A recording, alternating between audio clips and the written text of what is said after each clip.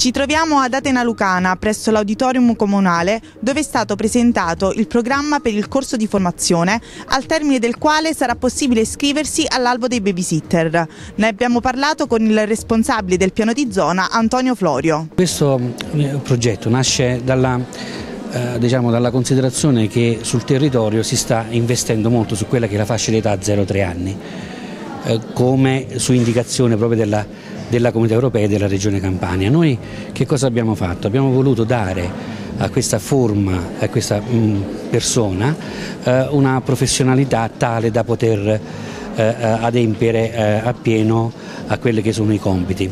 Ad oggi corsi del genere non, ne sono stati fatti, dovendo noi offrire servizi di babysitteraggio a, alle famiglie ci è sembrato opportuno eh, formare queste persone attraverso questo albo che istituiremo alla fine del corso. Um, penso che sia un corso abbastanza anche professionalizzante, visto che le, eh, i docenti di questo corso sarà un neuropsichiatra infantile, eh, una psicologa, eh, un pediatra e eh, un legale per eh, gli aspetti più squisitamente giuridici.